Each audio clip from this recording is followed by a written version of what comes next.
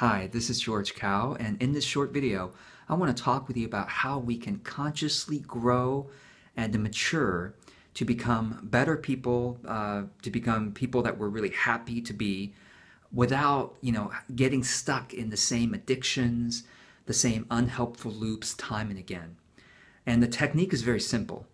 It's the will, the conscious willingness to experience a little bit of discomfort, and therefore realize that you have just grown yourself a little bit. Um, the analogy I'll bring in to uh, explain this is imagine someone who is learning how to lift weights, someone who is learning how to bench press, okay, lifting weights. Uh, I'm not a weightlifter, so I don't know if the analogy I'm going to share with you is exactly accurate, but I'll just go with it. So let's say the person starts with, with lifting 50 pounds of weight you know, at 50 pounds, maybe it's a little bit difficult for that person, just a little bit discomfort, but it's doable, uh, definitely doable. And so maybe um, he'll start the first three weeks with lifting 50 pounds and then a little bit of discomfort. And then at week three, he's realized, oh, you know, it's pretty easy now to lift 50 pounds. There's really not much discomfort anymore at all. So now we can go to 65 pounds.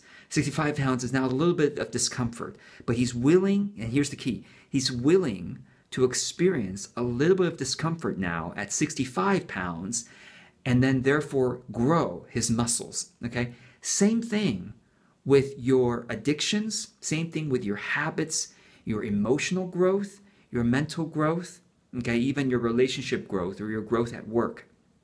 Your willingness to experience a little bit of discomfort with the intention of growing toward a little bit of discomfort with purpose will make you a better and better person.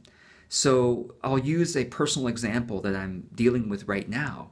In fact, um, one of the addictions I've had for, for a long time, it kind of goes off and on, but right now I'm dealing with it now, is my addiction to playing um, video games, a certain video game. Uh, it's easy for me to play it, especially when I'm doing some hard work and the work is tough, and I just say, oh, it's so much easier just to go play a video game right now or when I am bored or when I'm tired. It's so easy to go play that video game.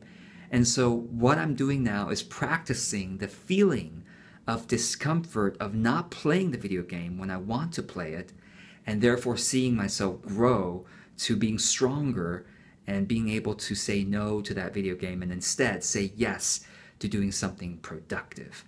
And what I, the way I started was um, by tracking the experience of feeling discomfort twice a day. I literally am tracking it using, I use a, a, an app on my mobile phone called Strides. But you can simply use a, you know, a piece of paper or on your calendar. If you have a paper calendar, you just mark it, mark it, you know, put a star two times that day. If you, if you practiced feeling the discomfort of, you know, when you got tempted to do something you don't want to do, and you say, No, I'm going to say no to that temptation. And instead, I'm going to say yes to something that's good in, in, in exchange for that temptation. That's something bad. Does that make sense? So you might want to start with just two times a day, or maybe even once a day. And I would also recommend that you don't give yourself too difficult of a situation.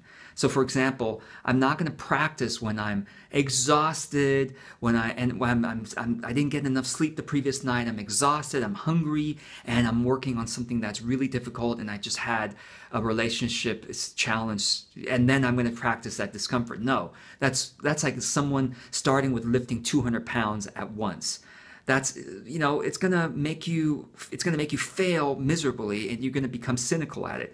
So start with a situation that's a little bit easier but it does give you a sense of discomfort just a little bit but you know you can do it if you just set your mind to it and say no i'm going to prevent that addiction right now and i'm going to say yes to something positive and uplifting and healthy for me for example.